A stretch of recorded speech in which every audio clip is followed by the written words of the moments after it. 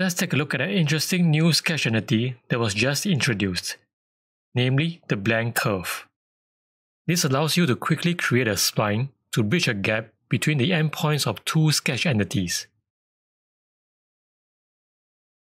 I have two cylindrical surfaces here.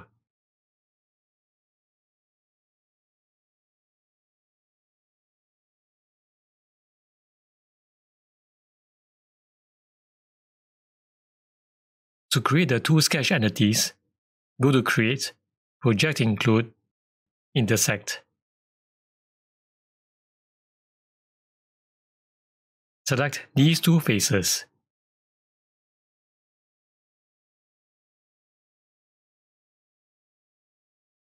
These projected lines represent the intersection between the cylindrical faces and the sketch plane. Go to Modify, Blend Curve.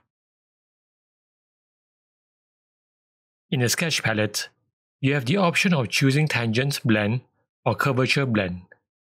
Let's select Tangent.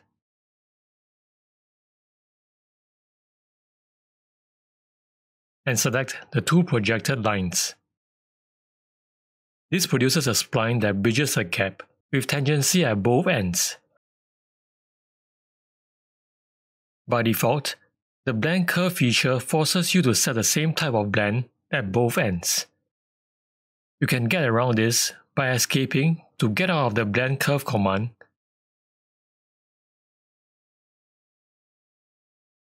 and deleting the constraint. From here, you can then set a curvature constraint if you wish to.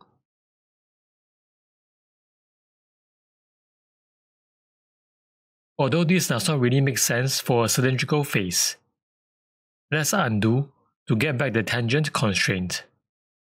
This blend curve behaves like a normal fit point spline.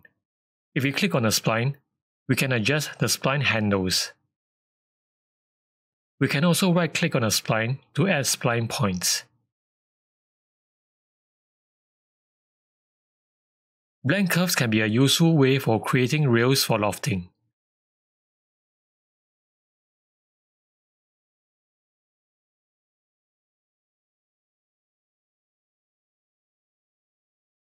They can also be a good way of creating paths or pipes across gaps.